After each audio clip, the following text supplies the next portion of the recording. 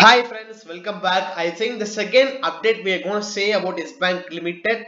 And this news is the latest news regarding Yes Bank Limited. What they have done is the NPA recoveries they are going to do. And this is the second NPA recovery they have done here. And I will zoom it so that you can see it clearly guys. And you can see here in furtherance to communication dated July 4 2020 July 4 2020 guys i think uh, it is february 2020 right? Then how they can type july 4 2020 i think it, it would be july 4 2019 guys. Because january february march april may june july. I think they are wrongly typed this. It is july 4 2019 they said we would like to inform you that yes bank limited has sold 68 lakh 80,000 equity shares of the uh, Eveready Industries India Limited and also resulting to the change in holding by more than 2% of shareholding of Eveready. So they have sold around 9.47 percentage of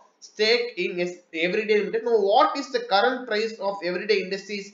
If you ask me guys, because uh, once upon a time Eveready Invest Industries was what's in a good stage, but now going day by day the share has lost a lot of value because of this uh, evaluation problem. And also you should note guys that how could help uh, this company if you ask me this is the current help guys. The share price of Eveready industry is now 64 rupees. So if you multiply 64 rupees into 68 lakh shares you would get around uh, so you will definitely get around 44 crores is the amount realized by selling away the shares guys. And people now come and ask me the second question. Uh, they have sold this type of shares. Uh, they are getting 44 crores. They have given a large amount of amount. So what is that if you ask me guys? Guys see carefully.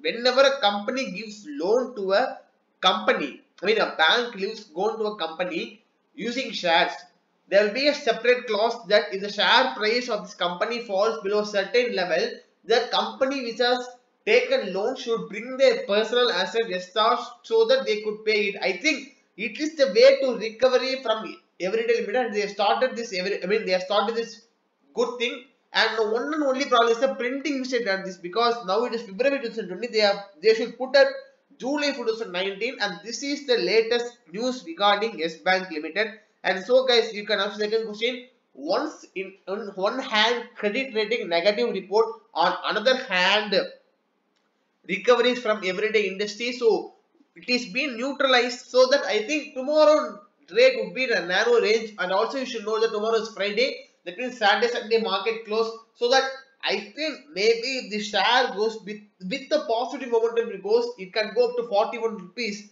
tomorrow. If a positive positive momentum continues it can go to 41 rupees or 40 rupees.